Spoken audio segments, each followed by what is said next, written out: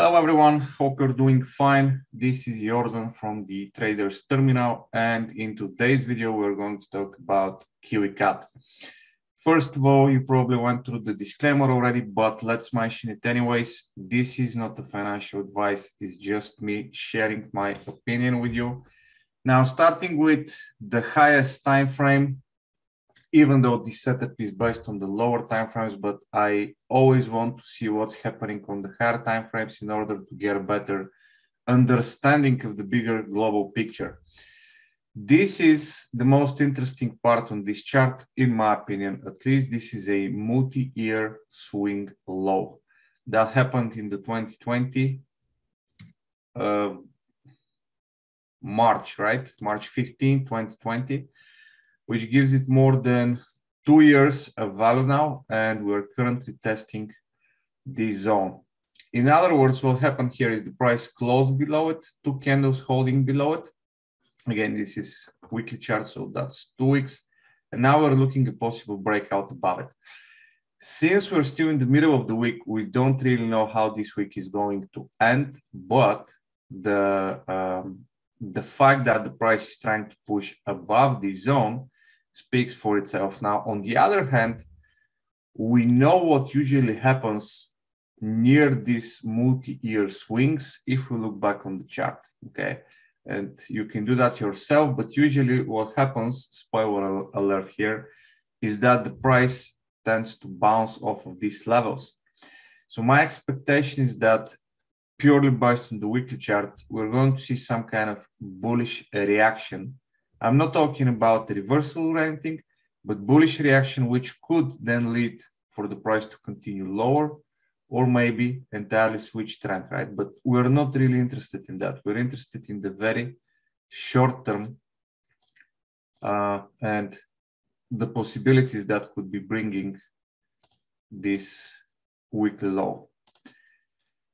That's about weekly. Daily chart we're going to cover very quickly because the sole purpose of week, uh, sorry, of daily chart in my analysis here is the divergence. Okay, that looks pretty decent. We can of course include the Elliott wave structure. Okay, and this Elliott wave structure broken down for the fifth leg is also showing us that we should be looking at possible bullish opportunities in this case. So this is what I think about daily. Once again, I'm looking at possible bullish moves and the four hour chart, which is the core of this setup, plus one hour chart, but uh, I'm going to share that in a second. Now let's see what do we have here. Well, first of all, I do believe that we're looking at head and shoulders pattern, which is already giving us the signals of a breakout, the neckline, right? Breakout of the neckline. Let me just make sure that I'm drawing it correctly. So those are the levels so far being respected. We have the angle to the upside, and this is where the price managed to break above. Now, the only thing I don't like in this setup is the fact that this breakout was immediately pushed to the downside, and uh, we don't have the upward slope on the MAs, okay? That's the sole reason why I'm not already involved in buys right here. Again, this is not financial advice, but what I'm going to do here is instead of jumping in here or here somewhere, I will be waiting for this high to be broken, okay? I will be giving away a few pips from the actual trendline break. Let's call them 10 pips, okay? From this breakout zone. But uh, I just want to make sure that if this is going to be an actual breakout, we start making another high here. And again, this is my concern right there. The projection based on this is measured like this, as you probably know, and then we take that and we drop it where the breakout is happening, and that gives us approximately 8220 or 8220 zone. Now, let's talk levels. And for the levels, I usually use the Spotlight platform, but before we go to the levels, let's see if I can find it.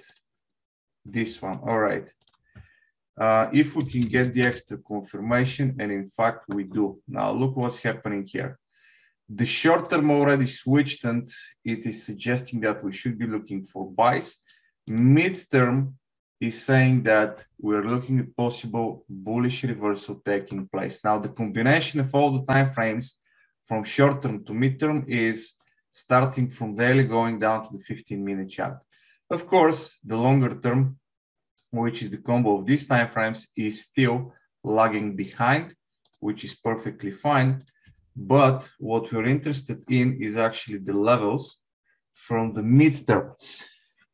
Now, look what's happening here. The first zone that we need to pay very close attention is this one. Why? Because this is where the supply demand is showing us the largest and the strongest level and this is approximately 081.30 down to 081. We also have monthly pivot and we have weekly resistance to here, which makes this zone extremely strong and important. In other words, what could be happening is if the price starts breaking to the upside, there could be and will likely be a reaction around this zone here, okay? Now, this could be an opportunity for an add-on trade if things line up there and we could be adding more, for example, right? But even if you're not adding to, to the original position, just keep in mind that you might be looking at um, pullbacks, consolidations around this place. The next zone, super important level that is on the way is right here. We can see this is the next level and that next level is at 80 to 56 down to 80 to 27, along with the buffer zone below it, which is this one, that starts from 81, 90, let's call it an even 82. This is also where the next monthly pivot sits. And basically, this is going to be the second level of importance. If you remember, we already measured, let's do it again very quickly the projection, which gave us approximately this, and that sits right in that level. Okay, so things start to line up, uh, especially for the final target, and that looks pretty decent. Now, the next thing that I would like to mention here, as I uh, said before, is the one hour chart. And on the one hour chart, look, what do we have? We already have an impulsive structure followed by ABC and then immediate push to the upside, okay? With a breakout. That looks absolutely fantastic. And this is why I said that being already in a trade makes sense, but I'm going to do it one step um, further in terms of confirmation and waiting for this pullback. On the other hand, if the price starts going into consolidation right here, as an alternative to everything that we said, and probably a bit more aggressive, uh, will be to look for bullish opportunities in this zone right here. Why this zone? Because this is where you get weekly pivots, this is where you get the swings, this is where you get this consolidation zone, which for some reason stopped here and reversed, right?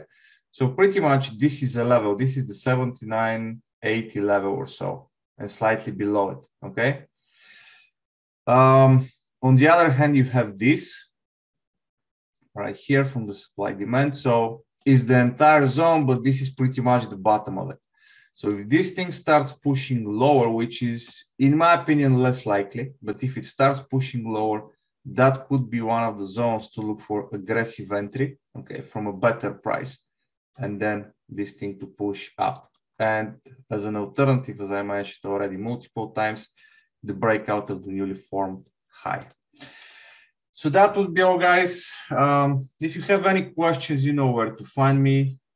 Drop a comment here or find me in Telegram. Either way, I'm looking forward to talk to you. And if not, I wish you a pleasant week ahead. Thank you.